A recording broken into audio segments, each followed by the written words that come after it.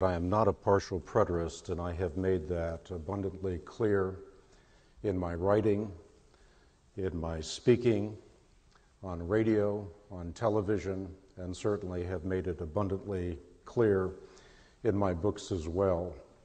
I've clearly indicated that I have a great deal of difficulty with the partial preterist method of interpreting the book of Revelation. So while it is true that I believe that many things have been fulfilled in the past, I also think that many things are going to be fulfilled in the future. So I don't think that the futurist label nor the partial preterist label is particularly helpful. I think it's critical to recognize, however, that the reason I make this distinction has to do with how you read uh, the book of Revelation, it has to do with the art and science of biblical interpretation. As I start my uh, my remarks this evening, I would like to just take a few moments with all of you who love the Word of God to actually draw our attention back to the Word of God. Because after all, this is the testimony of Jesus Christ, which God gave him to show his servants what must soon take place. He made it known by sending his angel to his servant John, who testifies to everything he saw that is the Word of God and the testimony of Jesus Christ. Blessed is the one who reads the words of this prophecy. And blessed are those who hear it and take to heart what is written in it because the time is near. John to the seven churches in the province of Asia. Grace to you and peace from him who is, and who was, and who is to come, and from the seven spirits who are before his throne, and from Jesus Christ, the faithful witness, the firstborn from among the dead, and the ruler of the kings of the earth. To him who loves us and has freed us from our sins by his blood, and has made us to be a kingdom and priests to serve his God and Father to him be glory and power forever and ever. Amen. Look, he is coming with the clouds, and every eye will see him, even those who pierced him. And all the peoples of the earth will mourn because of him. So shall it be. Amen. I am the Alpha and the Omega, says the Lord God, who is and who was and who is to come, the Almighty. I, John, your brother and companion in the suffering and kingdom and patient endurance that are ours in Jesus, was on the island of Patmos. I was on the island of Patmos because of the Word of God and the testimony of Jesus. On the Lord's Day, I was in the Spirit. And I heard behind me a loud voice like a trumpet which said, Write what you see on a scroll and send it to the seven churches Ephesus, Smyrna, Pergamum, Thyatira, Sardis, Philadelphia, and Laodicea. I turned around to see the voice that was speaking with me, and when I turned, I saw seven golden lampstands, and among the lampstands, someone like a son of man dressed in a robe reaching down to his feet with a golden sash around his chest. His head and his hair were white like wool, as white as snow. His eyes were like blazing fire. His feet were like bronze glowing in a furnace. And his voice was like the sound of rushing waters. In his right hand he held seven stars, and out of his mouth came a sharp double edged sword. His face was like the sun shining in all of its brilliance, and when I saw him, I fell at his feet as though dead. Then he laid his right hand on me and said, Do not be afraid. I am the first, I am the last, I am the living one. I was dead, and behold, I am alive forever and ever, and I hold the keys to death and Hades. Write therefore what you have seen what is now and what will take place later. The mystery of the seven stars you saw in my right hand and of the seven golden lampstands is this the seven stars are the angels of the seven churches, the seven lampstands are the seven churches. Now, the first thing we see in the testimony of Jesus Christ, which God gave him to show his servants what must soon take place, is that these are letters to seven churches in the epicenter of a Caesar cult. From Jupiter Julius, who was the father of the Roman Empire and was voted into the hierarchy of gods as divine Julius by the Roman Senate, to Nero Claudius Caesar Augustus Germanicus, who was worshiped as Almighty God, the Caesars would deify themselves as gods. Octavius, the second Roman Caesar, took on the moniker Augustus, meaning worthy of reverence and worship. Upon the death of Tiberius, the Roman Senate awarded the city of Smyrna the privilege of building a temple in which to worship him as Almighty God. Caligula was so convinced of his own divinity that he purposed to have a colossal image of himself erected in the Jewish temple in Jerusalem. For Claudius, the spiritual supremacy of the state was paramount his philosophy summed up in the phrase, Caesar is Lord. And this pretense was not only common among the Caesars, but also common among the citizens. One need only think back to the jeers of the Jews in Jerusalem when Pilate presented Jesus Christ to them as King of the Jews. In one voice, they roar back, Anyone who claims to be a king opposes Caesar. Shall I crucify your king? To which they respond, We have no king but Caesar. Indeed, a generation later, when Nero succeeds Claudius on the throne, he's worshiped not only as Lord, but as Savior. And it's in this milieu that John admonishes the seven churches to stand firm in the conviction that Christ, not Caesar, is both Savior and Lord. They, as the bride of Christ, will face the tyrant's brandished steel, the lion's gory mane, the fires of a thousand deaths. But in the end, though they suffer persecution for ten days, those who do not worship the beast or his image, and do not receive his mark on their foreheads or their hands will reign with Christ for a thousand years. Whenever we start talking about dating a book, I think it's important to understand the essence of the book. And Revelation is a wedding covenant from first to last, from Alpha to Omega. It starts with these seven letters to a persecuted bride that is going to face the full fury of not only the woman who rides the beast, but a Roman beast. And it continues with the noxious vision of a prostituted bride. In graphic Old Testament images, we see the judgment of God written on a seven sealed scroll, announced by seven angels with seven trumpets, depicting seven plagues that are about to befall a bride in bed with a beast. And this pattern of sevenfold judgment ought to be familiar to every one of us because we have encountered it in Scripture. There's a pattern. And the pattern of sevenfold judgment, as all of you know, was announced way back in the Old Testament in the book of Leviticus.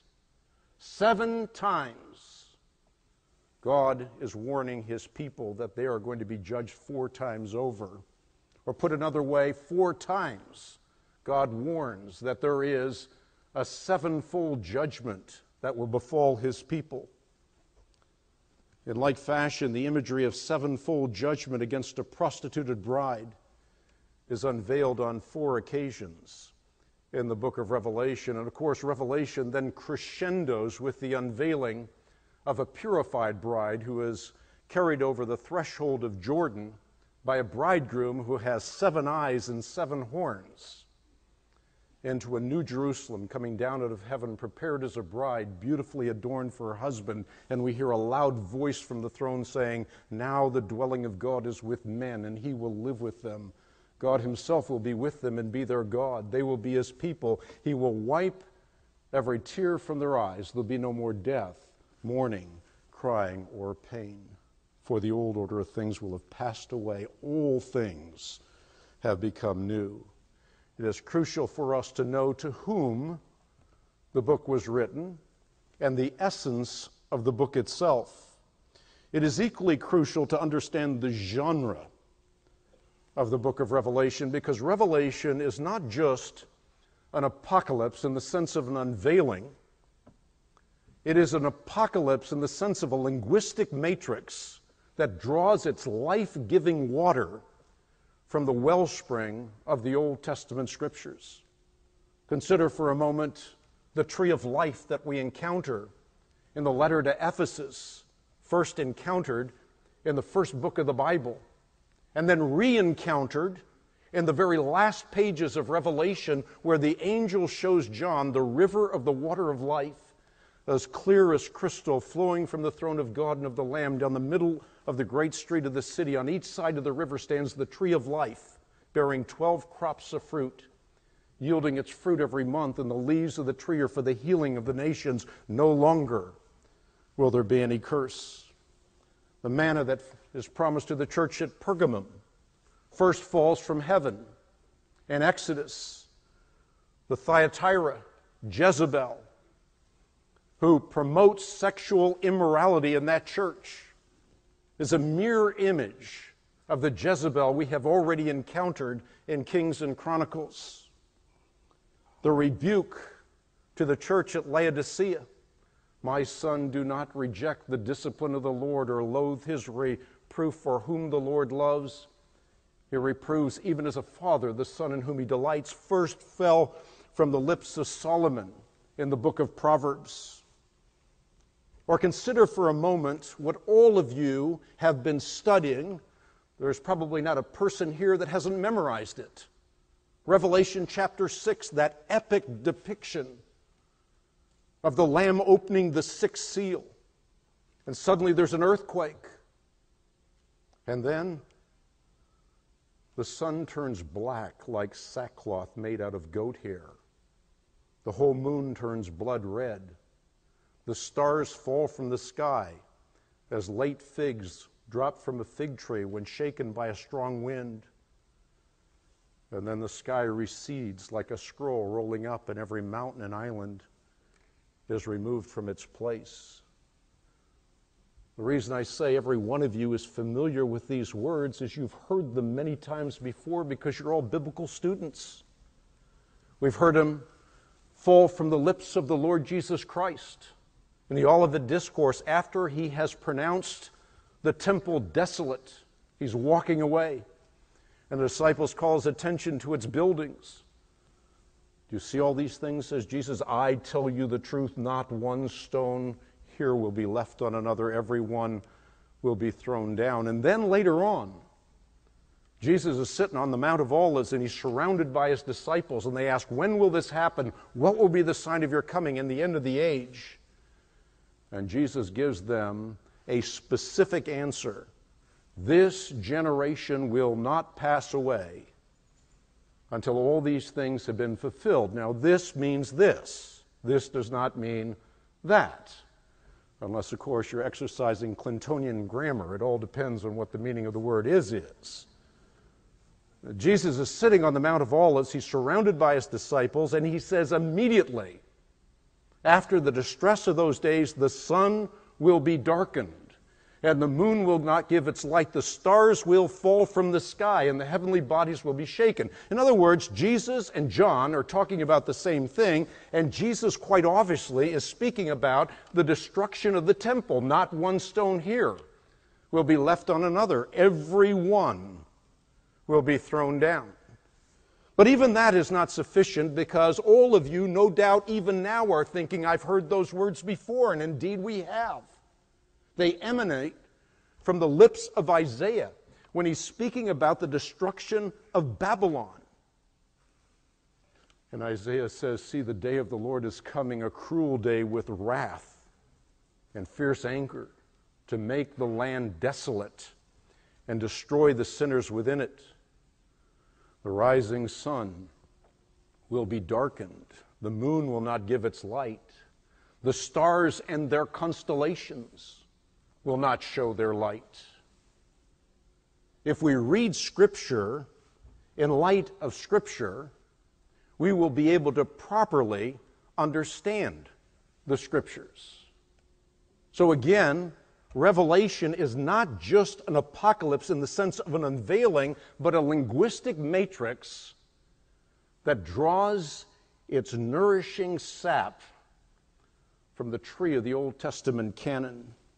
Revelation is not a book of riddles originating from a shallow post Christian mind. It is a book of symbols that are rooted in Scripture. But Revelation is also epistolary, isn't it? It has an introduction and it has a benediction. John, to the seven churches in the province of Asia, grace and peace. And then it has the benefiction. He who testifies to these things says, Yes, I am coming soon. Amen. Come, Lord Jesus. The grace of the Lord Jesus be with God's people. Amen one must not suppose that there's any need whatsoever to read strained foreign connotations into straightforward communication in the introduction of Revelation. Soon means soon, and near means near. Now, I'm going to contextualize that for you later on. It'll be part of the debate. But soon means soon. Jesus is not linguistically challenged in the least. I think the primary issue that we're going to be debating this issue is who is our authority? Is our authority Hegesippus? Is our authority Irenaeus? Victorinus? Is it Eusebius, the church historian? One thing that Dr. Hitchcock did not make plain here tonight is that while Eusebius can be lauded as a church historian, he was not a scientist in a white lab coat. He had a reason for late dating the book of Revelation.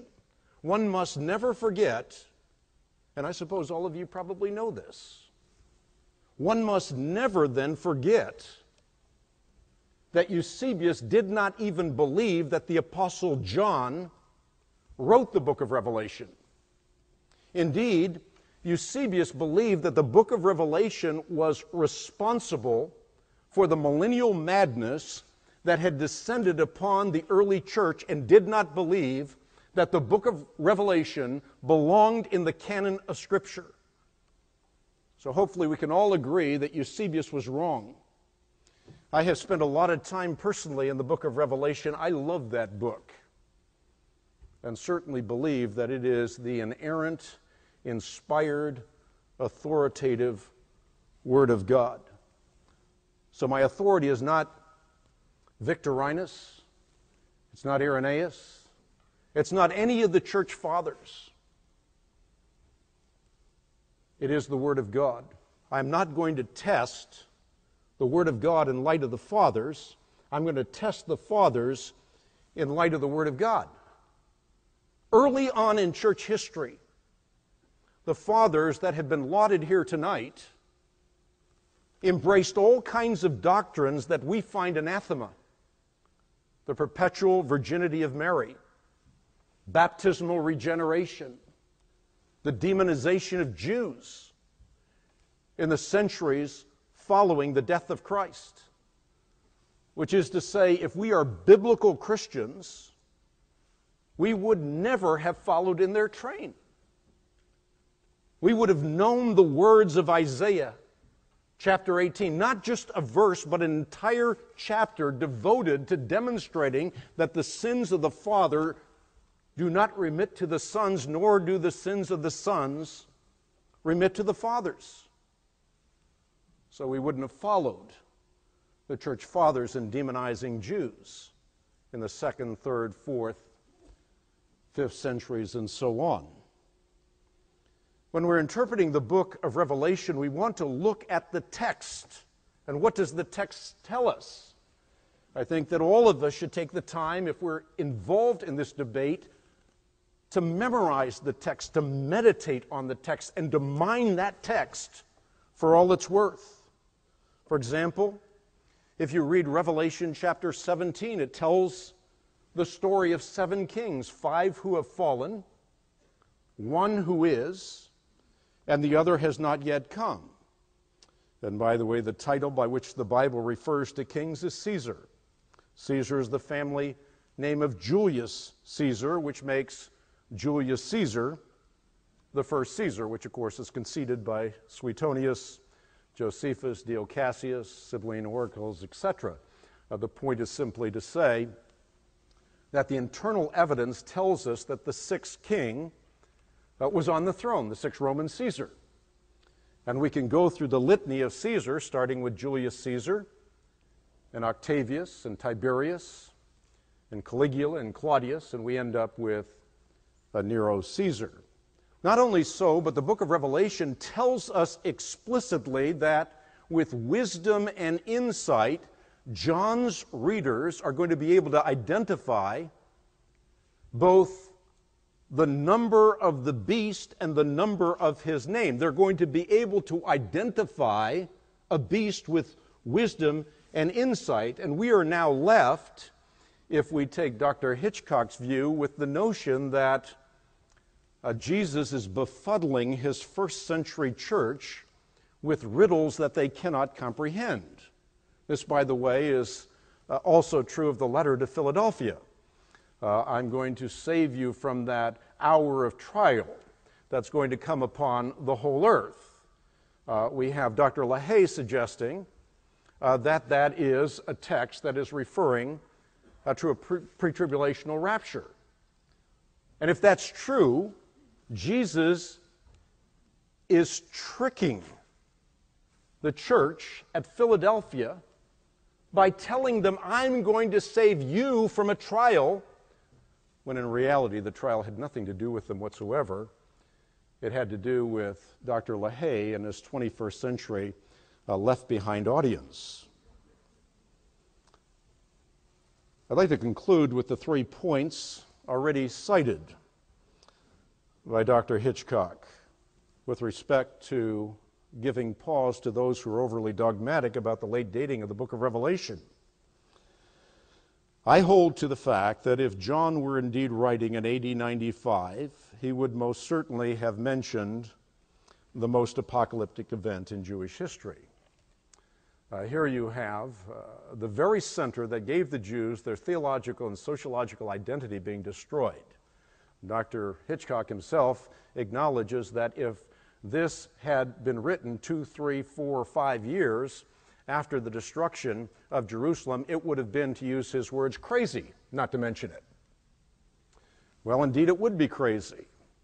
And the suggestion uh, that, that Revelation doesn't deal with history must surely stretch all of our credulity beyond the breaking point. All you have to do is open the book of Revelation and read it. It is a recapitulation of Old Testament history. From the fall in Eden to Elijah shutting up the sky for three and a half years, to judgment on Babylon, to the tree of life that I mentioned previously. To suggest it does not recapitulate the judgments of God in graphic detail is simply to miss the point. And now we have the most apocalyptic event in Jewish history, and someone writing after the fact is not going to mention it. Let me quote my friend Josh McDowell, who says most liberal scholars today are being forced to consider, this is strong language, forced to consider earlier dates for the New Testament. Indeed, says Josh, John A.T. Robinson comes to some startling conclusions in his groundbreaking book, Redating the New Testament. His research has led to his conviction that the whole of the New Testament was written before the fall of Jerusalem in AD 70. John Ankerberg, who I see sitting right here, has written this. It is becoming an increasingly persuasive argument that all the New Testament books were written before AD 70, within a single generation of the death of Christ. Imagine this Jesus makes an apocalyptic prophecy on which his divinity hinges. And it is fulfilled in graphic detail precisely as he said it would be. And imagine that the New Testament writers do not seize upon that fulfilled prophecy in light of the fact that this was to fulfill, permeates the pages of Scripture. And to say that Gentiles living 800 miles from Jerusalem wouldn't, care, wouldn't have cared about this is, I want to temper my language here, but is uh, surprising, uh, to say the least. Of course they would have cared about it. This is a primary apologetic that we use today to demonstrate the deity of Jesus Christ. This is the way we combat those who now discount the precious word of the Lord Jesus Christ, like Bart Ehrman. And yes, I do think that the temple was intact when John was writing. Uh, he's told to take a measuring rod and to measure the temple of God and the altar and count the worshippers there, but to exclude the outer court, do not measure it, for it has been given to the Gentiles. They will trample on the holy city for 42 months. If Dr. Hitchcock is looking for his ubiquitous three and a half years, he need uh, look no farther. The temple very clearly is intact, and the notion that this is analogous to what was uh, written in Ezekiel, Ezekiel chapter 40, is simply wrong. Ezekiel was never told to measure a temple because the temple had already been destroyed. A heavenly angel measures the temple very much like what happens in the book of Revelation. Remember the angel who had one of the seven bowls, who had the seven plagues? He takes John up to a mountain and shows him the holy city coming down out of heaven from God. It shone with the glory of God, and its brilliance was like a very precious jewel, like a jasper clear as crystal. It wasn't John that measured that city. The angel had a measuring rod of gold, and he measured the city, its gates, and its walls.